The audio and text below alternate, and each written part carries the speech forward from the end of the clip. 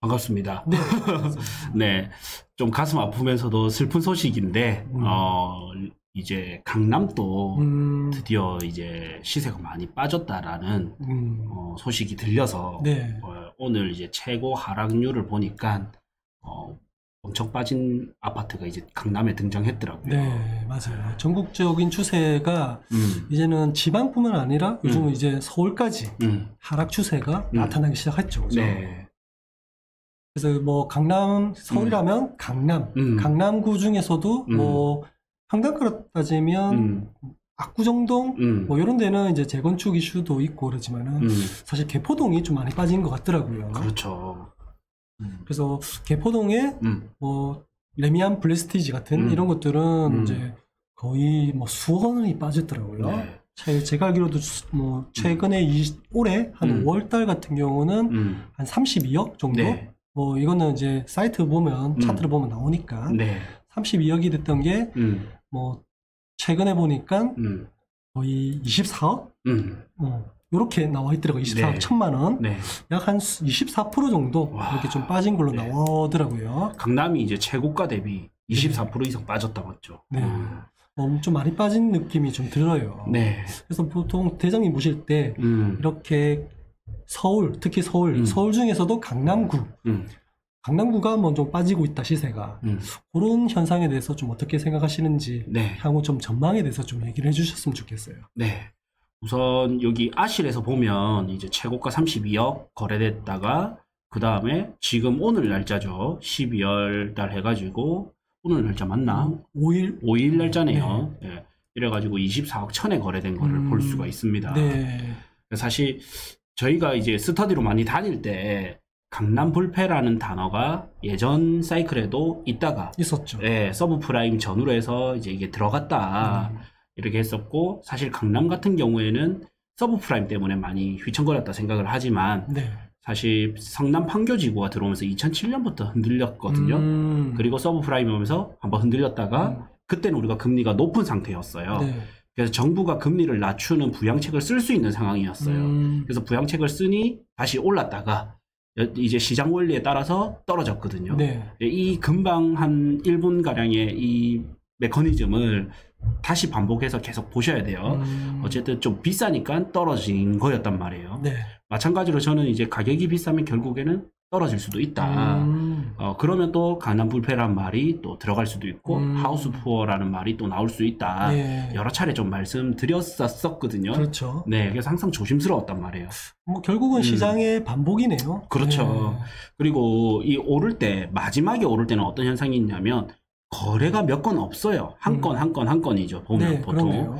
거래량은 안 받쳐주는데 가격만 올라가요. 음, 그 말인즉슨 이제 꼭 필요한 사람 한두 사람이 꼭 사는 거기 때문에 음, 이럴 때는 사실 이제 언제가 딱 고점이고 언제 꺾인다 이거는 모르지만 신의 영역이죠. 예. 음. 그렇지만 지금이 굉장히 이제 고평가돼 있다 정도는 음, 예, 유추할 수 있거든요. 음, 음, 약간 경고성의 메시지가 좀 그렇죠. 담겨 있을 수도 예. 있네요. 근데 이때 함부로 말씀드리기가 어려운 게 음, 몇 건 안 되는 게 보면 24억, 28억 가다가 32억 이래 되잖아요. 최고가를 막 거래하고 예. 있으니까. 그러면 이 한 건의 거래를 보면서 요때 보면 이 직전에 되면 거의 28억에서 맞죠? 29억 정도에서 32억이니까 네, 3억 정도가 올라 버리는 거잖아요. 그렇죠. 그러면 뭐니 뭐냐? 네가 위험하다 했는데 나는 안 샀는데 3억 오르더라. 이래 악- 되는 거지. 악플에 시달릴 수 예, 있죠. 예, 네. 그럴 수 있는 거죠. 근데 이게 굉장히 위험한 거예요, 사실. 음, 예. 그래서 이거를 이제 저희는 여기가 고평가다 저평가다 볼 때 세 가지 지표를 통해서 보거든요. 어, 세 가지 지표. 예. 그래서 첫 번째는 뭐가 있냐면 이제 다른 도시들이랑 비교하는 게 있어요. 음. 이거는 이제 좀 약해요. 네네. 네. 이제 다른 도시도 고평가고 여기도 고평가면 이게 고평가다 아니다를 알기는 좀 힘들죠. 그렇네요. 상대적으로 음. 고평가다 저평가는 알 수 있지만 음, 서울과 부산 예. 근데 서울도 고평가고 부산도 고평가다. 네. 이러면 둘 다 이제 알 수가 없죠. 그렇죠. 그래서 이제 좀 더 정확한 거는 뭐가 있냐면 월세 대비 고평가, 음. 임대료 대비 고평가가 있어요. 쉽게 말해서 상가도 보면 이런 거 있죠. 10억짜리인데 월세가 500이 나오는 게 있고요. 네. 똑같은 월세가 500인데 8억짜리 상가가 있어요. 음. 입지 조건이랑 건물 컨디션이 똑같아. 비슷한데도. 예. 네, 그러면 뭐가 저평가예요? 8억짜리가 그렇죠. 저평가인 거죠. 네. 그래서 임대료 대비 보는 게 있는데 음. 아파트는 월세보다는 우리나라는 전세 제도 때문에 음. 그래서 네. 이제 전세 대비 고평가냐 아니냐 음. 이래 보는 방법이 있고 그다음 세계적으로 봐- 쓰는 방법이 제가 누누이 말씀드리지만 소득 대비 집값이 아, 있어요. 소득 대비. 음, 이게 굉장히 어, 신뢰할 만한 지표단 말이에요. 음, 그래서- 어차피 사는 사람은 음, 그 소득으로 사는 거죠. 그렇죠. 어. 네. 그래서 소득 대비 집값이 전 세계적으로 이렇게 쓰는 지표고 네.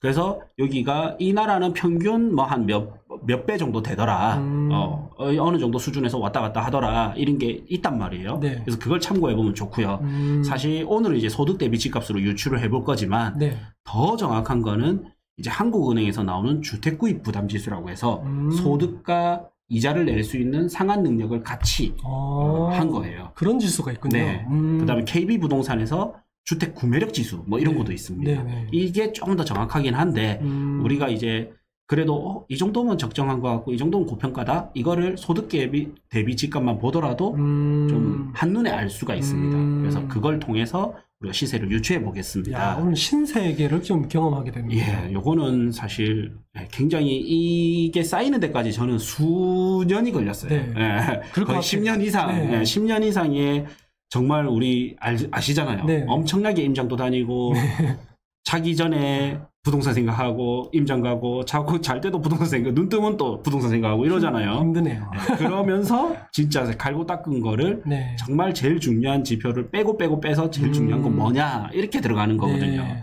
그냥 단순히 한 게 이거 보고 이게 아니거든요, 사실. 음. 그래서 이, 게 눈높이에 맞춰서 좀 알려드리는 거고. 네. 뭐이 정도 알려주면 우리 좋아요랑 뭐 이런 거 좀 많이 좋아요? 아, 구독 어, 좋아요 많이? 맞죠 해주셔야 됩니다. 그래야 힘이 납니다. 자 이제 그래서 보면 어 지금 레미안 블레스티지가 개포동에 있잖아요. 네. 네. 개포동에 있죠. 네, 개포동 하면 이제 부동산 지인으로 들어가서 네. 지도를 보면 이제 시세를 누르면 개포동이 어느 정도 입지인지. 동 단위로 음. 어, 느 정도 입지 정도 되는지를 볼 수가 있어요. 네. 그래서 강남은 역시 압구정동이 압도적이죠. 아, 당연 1위네요. 네, 서초구에서는 또 반포동이 있고. 네. 근데 이거는 또 이제 신축 아파트가 들어가면 또수 단위의. 시세는 조금 바뀔 수는 음. 있어요. 사실 우리 학원 가면 이제 또 대치동? 대치동이죠. 네. 이렇게 호갱노노에서 학원 가 보면 알 수가 있는데 음, 굉장히- 서울 1위네요. 예, 서울 1위고 전국적으로 봤을 때도 압도적입니다. 음. 예, 보통 이렇게 비용으로도 볼 수가 있는데 2.7만 원 이래 나오잖아요. 네네네. 대구에서 제일 잘 나가는 동네도 한 15,000원이 안 돼요. 그렇죠. 음, 대략. 그러니까 보통 해운대 제일 잘 나가는 데가 12,000원, 네, 1.2만. 그렇죠. 이 정도니까 지방하고 서울하고는 어, 완전 격이 완전. 더블 이상인 네, 거죠. 네. 규모도 어마어마하고 음, 비용도 어마어마한데 대치동 누가나 좋은지 알죠? 네. 근데 땅에 한계가 있고 이러니까 건물은 결국엔 낡아지고 그렇죠. 그러니까 이제 개포까지 퍼지는 거죠. 음, 그래서 개포동이 지금은 동 단위로 봤을 때 대치동보다는 야. 따라잡아 버려서 더 강- 비쌉니다. 강남 넘버 2네요. 네, 넘버 음. 2예요. 넘버 2. 사실 우리 부초남, 압구정, 청담 이러지만 그렇죠. 아파트 값에 보면 강남에서는 넘버 2가 돼 버렸어요. 음, 네. 제가 몇 년간 이렇게 음. 신축 아파트가 좀안 음. 났던 게좀 예. 그런 게 이유인 것 같아요. 네. 어쨌든 개포동 하면 강남에서도 순위권에 들어가는 동이다. 그렇네요. 이렇게는 말씀할 수 있잖아요. 네. 이야기할 수 있잖아요. 네. 네. 아이들 학원 보내기도 참 좋을 것 같아요. 예. 대치동 바로 위 근처에 그렇죠. 있으니까. 네. 어마어마하죠. 사실 네. 학원가가. 음, 자, 이래 해서 이제 리치고를 들어갑니다. 네, 리치고. 사실 뭐 지인이나 이런 자료에도 있지만 음. 리치고가 한눈에 보기 편하거든요. 네. 리치고에서 우리는 강남구를 볼 거기 때문에 네. 시군구별 음, 분석에서 시군구별 부동산 동향에서 강남을 찍어요.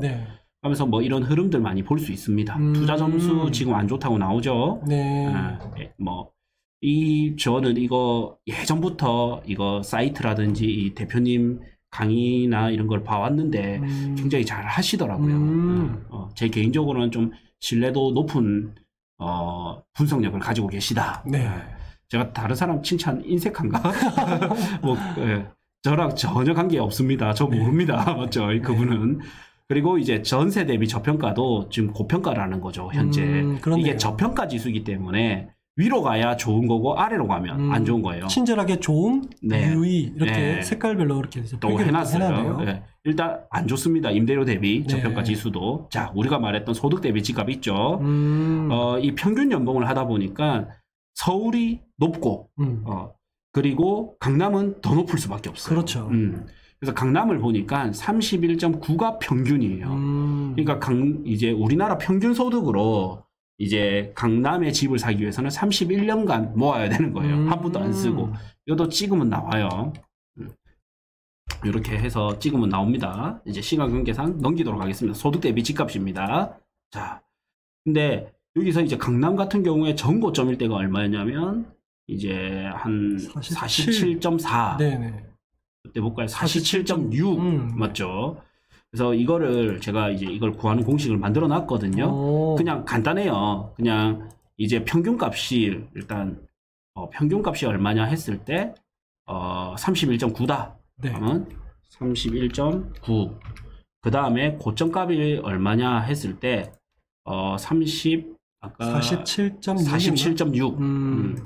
그러면 47.6 했을 때 49%가 네. 고평가됐다라는 거예요. 오, 근데 사실 요것도 조금 더 정확하게 가자면 요 당시도 고평가였는데 뒤에가 이거를 넣어주니까 네. 이 평균선 자체가 좀 올라간 것도 있습니다. 아, 그런데도 불구하고 47.6%가 고평가인 거예요. 그럼 실제로는 평균의 오류를 조금 걷어낸다면 좀 더. 더 고평가인 거죠. 예를 들어 뭐 아. 31.9가 아니고 뭐 한 30이다.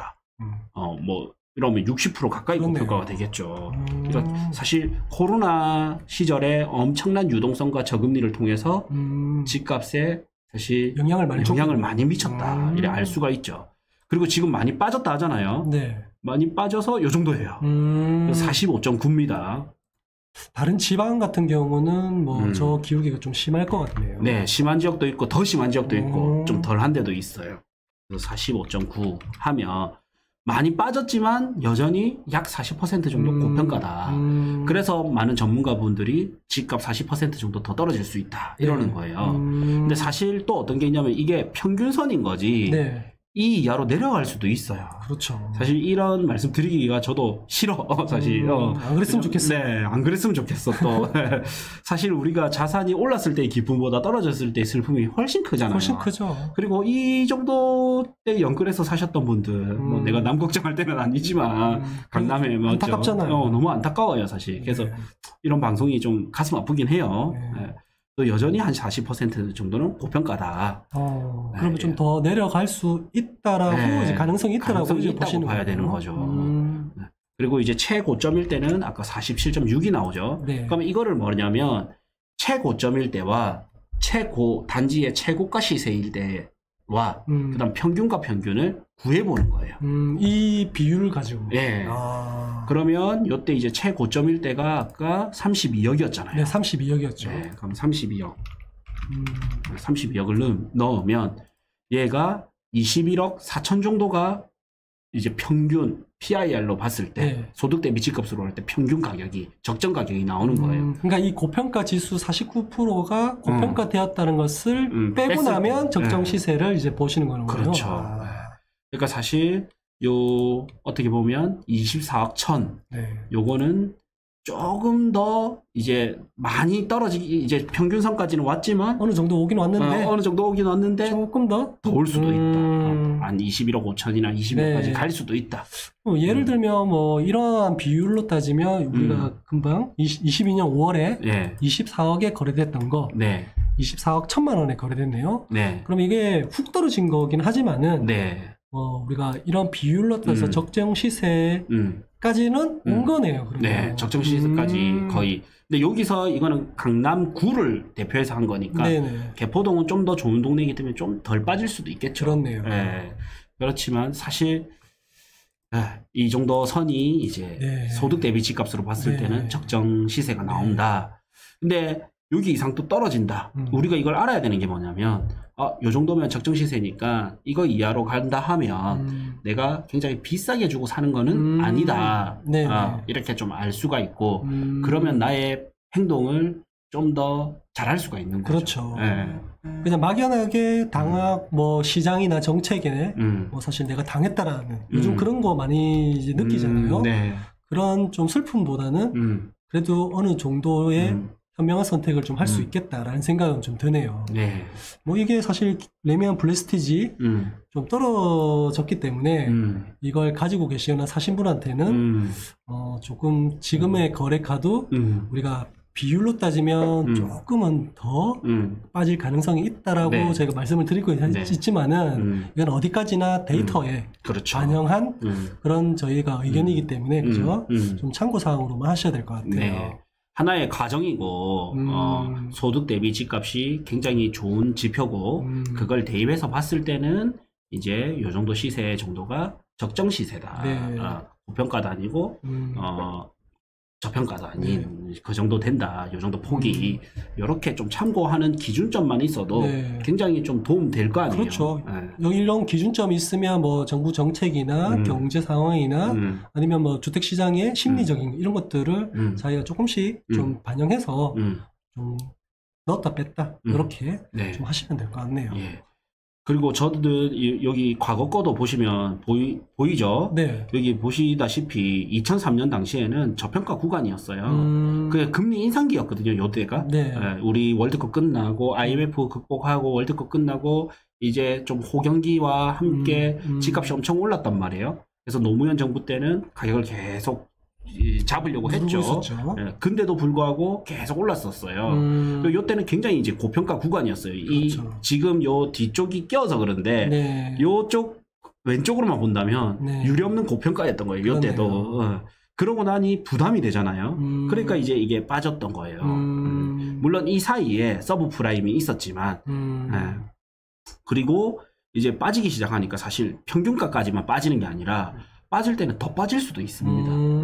음, 근데 요때도 보면 2013, 14년경이잖아요. 네. 사실 요것만 놓고 봐도 어, 요 저평가 때 내가 요 언저리에 샀으면 음, 굉장히 좋았고 요 언저리에는 팔았으면 굉장히 좋았다. 그렇죠. 어, 이렇게 좀 알 수가 있잖아요. 그러니까 우리가 볼 때 이제 음. 최하위점 음, 2014, 5년 때 음, 음, 최하위점에 꼭 안 잡더라도 음. 그 양옆으로 예, 뭐 어느 정도 네. 구간이 있을 때 맞춰서 가더라도 맞춰서만 가더라도 전체적으로 훨씬- 길게 보면 시장을 네, 그렇죠. 뭐 최종 승리자가 좀 예. 될 수 있었던 것 같은데 그죠? 그렇죠. 예. 네, 우리가 그런 거를 대비해서 이런 음. 수치를 조금 보는 그렇죠. 거죠. 그죠? 네. 그래서 사실 더 정확하게는 우리가 아파트 스터디반에서 또 알려드리기도 하고 강의 때 음. 알려드리는데 음.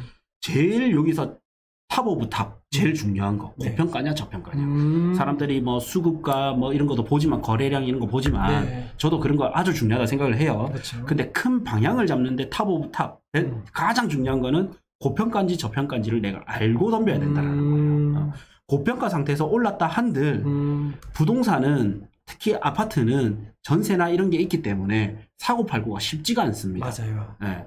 그 상황에서 내가 요 요런 거 있잖아요. 내가 여기 사서 3억 올랐는데요. 그거는 수치상 오른 거예요. 그렇죠. 3억 올랐다고 바로 못 팔아요. 사실 맞아요. 팔기가 어려워요. 음. 일부 초고수들이 법인을 이용해서 음. 이렇게 할 수? 있는 또 음. 방법도 있지만 사실 힘들다 일반적으로. 저 시기는 또 기본적으로 또 음. 2년 만에 팔 수도 없는 상황이었죠. 예. 이 고가도 한 건 거래입니다. 음. 한건 거래. 이 그럼요. 거래 건수도 보면 정말 거래 건수가 좀 작아요, 어, 사실. 전월세밖에 없네요. 네, 네. 우리가 저 밑으로 내려가야 된단 말이에요.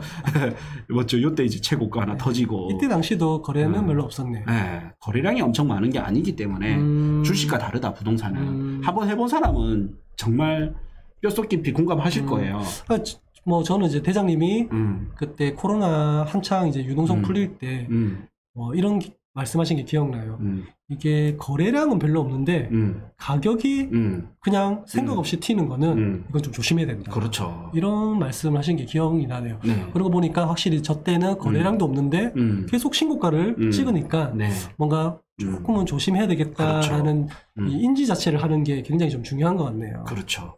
그래서 사실 지금 와서 보면 그때도 이런 말을 똑같이 했지만 음. 분명히 우리 방송 보시는 분들이 대부분은 우리 아시는 분들이 보거든요. 그냥 어려운 거예요. 음. 어 이거 28억 어, 좀 더 갈 것 같기는 해. 음, 그래서 살까요 했으면 좀 더 갈 것 같기는 하니까 음, 아 뭐라 말씀드리기는 힘들지만 하지만 조심은 해야 예, 된다. 근데 팔 때 되면 이런 상황이 나타날 수 있기 아, 때문에 그렇죠. 우리는 사고 팔고를 많이 해봤잖아요. 네. 그러니까 조심스러운 거죠, 사실. 음. 사라 소리 하기에는 가격이 거래량은 안 맞춰주면서 가격은 오를 것 그렇죠. 같고 또 팔아라 소리 하기에는 또 또 예, 힘들고 맞죠. 지금 시점에서 2년간으로 돌아가는 그 지표만 보면 네. 올랐어요. 예. 그것도 최고가를 계속 갱신했거든요. 그렇죠. 예. 근데 음, 8 시즌 시, 시즌이 다 돌아오니까 음, 뭐 이런 현상이 생기는 거잖아요. 그죠? 그렇죠. 예. 그래서 우리가 또 음, 어, 이러한 지표들 음, 무시할 수 없듯이 음. 좀 경각심을 좀 가지는 그런 계기가 좀 되었으면 좋겠네요. 예, 오늘은 이렇게 그래도 또 기준을 잡아서 볼 수 있는 네. 이런 시간이었고 뭐 누군가에게 뭐 안 좋은 이야기를 하고자 뭐 이런 건 그거 아닙니다. 저는 그런 건 네. 아닙니다. 네, 네. 우리 좀 몸살이게 되네요. 예, 이렇게 해서 이제 마치도록 하겠습니다. 네.